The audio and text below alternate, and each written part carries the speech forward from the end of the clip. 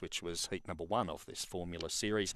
And of course, we have seen. Uh, five heats of the Cup here today. Dinah Carney, Little Earner, Sunset Milo, Kipling, and Corborn Terry were the Cup heat winners with the final next week.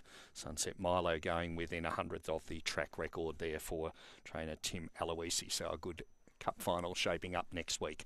But this is race number 10 here. This is the Formula 400, heat number two. $2.50 exciting times is the favourite. They're set to go.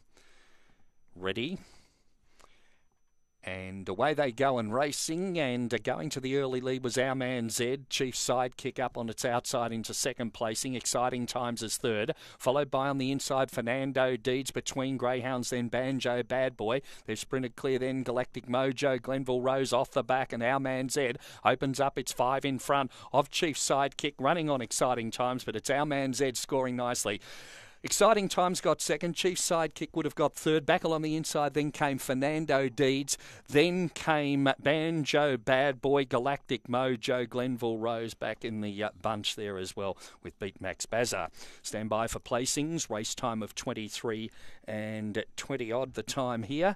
And the winner number two, Our Man Zed, defeats one exciting times and three chief sidekick. It's two and a photo officially. 12.35. Here we go. 2 1.